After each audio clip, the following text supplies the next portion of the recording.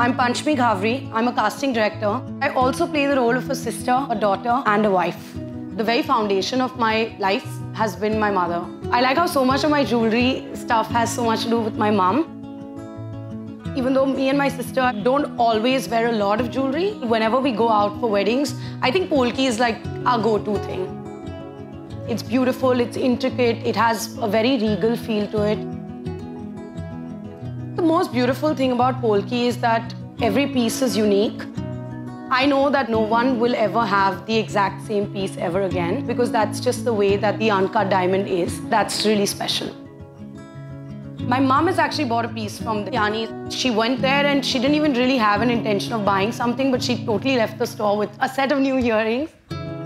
She said that the whole process was super smooth and what's amazing about their jewelry is that you can wear it together but you can also split it and it still looks dressy enough. Wearing something that goes with my comfort and with my personality, whether it's the biggest piece or the smallest piece, if I feel comfortable in it, the fact that I'm able to be who I am irrespective of who I meet, that's uncut. Tyaani is a standing example of that because they have a little bit of something for everyone.